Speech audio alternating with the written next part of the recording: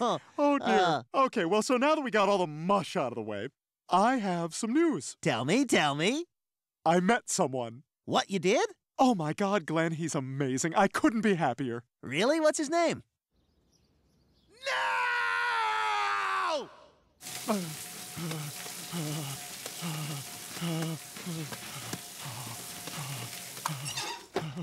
No!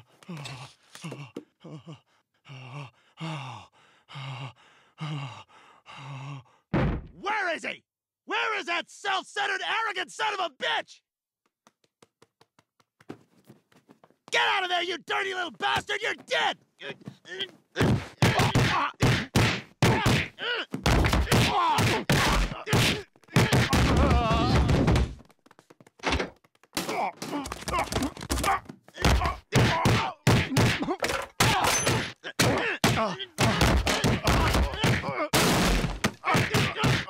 I ever see you anywhere near my house, I'll blow your head off!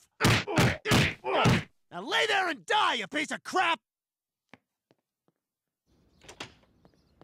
Hey. I your dad.